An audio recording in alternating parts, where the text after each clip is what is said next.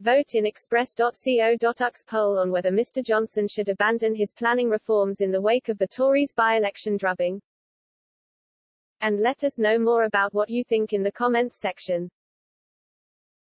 Our poll comes as Mr Johnson is under pressure over his planning reforms after they were partly blamed for his party's defeat in the by-election on Thursday.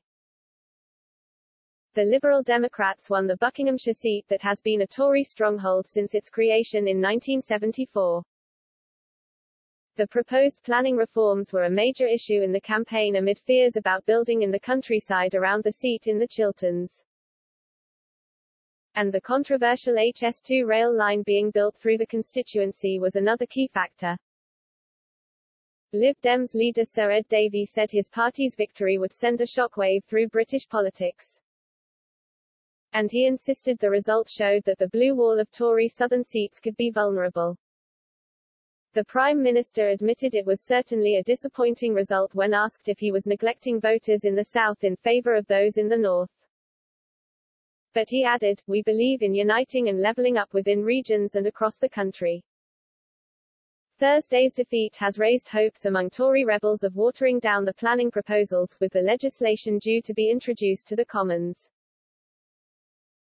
Conservative Party co-chair Amanda Milling said the concerns about planning and HS2 were loud and clear.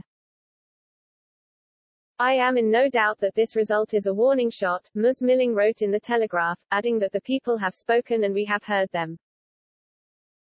Former Environment Secretary Theresa Villiers urged ministers to use this as an opportunity to rethink their approach to planning reform. Writing in The Telegraph, she said, this by-election result should pave the way for a reduction in housing targets for the London suburbs and the southeast.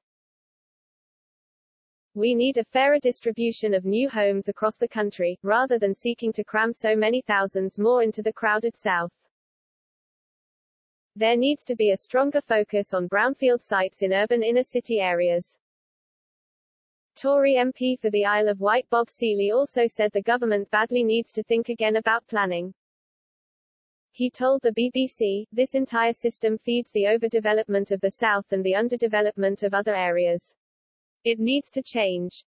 The by-election was triggered by the death of former cabinet minister Dame Cheryl Gillan, who took the seat with a huge majority of 16,233 in the 2019 general election but Sarah Green of the Lib Dems managed to secure a majority of 8,028 over the second-place Tories.